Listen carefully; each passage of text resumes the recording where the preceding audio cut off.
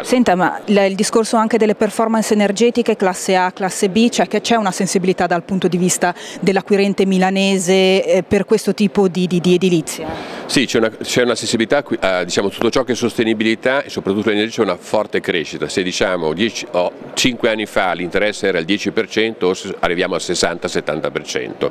Quindi il tema, soprattutto per chi comprerà della, eh, la casa, della, della classe energetica è uno dei temi fondamentali nel processo d'acquisto. La richiesta di casa, la richiesta abitativa è aumentata, ma il discorso dei mutui, cioè poi si va in banca e si riesce ad ottenere il finanziamento per poi effettivamente comprare? Allora c'è una grande difficoltà dei mutui e c'è un mercato potenziale aggiuntivo a quel 12% che è un altro 10% che vorrebbe comprare condizioni che avessero cioè, finanziamenti e tasso, I mutui sono in una fase di leggero aumento, c'è un 4% che dice non li avevo, adesso comincio ad averlo, però questo è un tema ancora che deve essere fatto tantissimo perché per intercettare questa domanda, perché se non ci sono queste leve finanziarie ovviamente la domanda si spegne.